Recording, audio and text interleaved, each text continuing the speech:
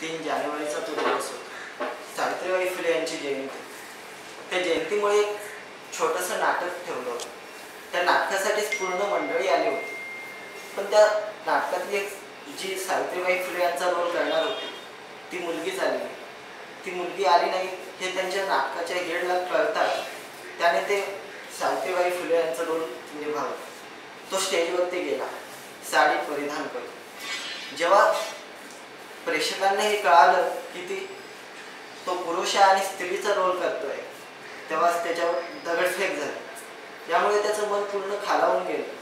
त्या मन खा त्यामुळे तो खूप घाबरला. आणि पुन्हा त्या रस्त्यावर चालायला लागल्यावर त्याला बाई बाई हा शब्द त्याच्या कानावर पडतो. त्या शब्दामुळे तो पूर्ण घाबरला. आणि पूर्ण मनोरुग्ण झाला. त्याला काही कळेना. कसं जगावं ते समजेना. पूर्ण तो खालावून गेला आणि नंतर त्याला कोणी सांगणारच भेटलं त्याचा असाच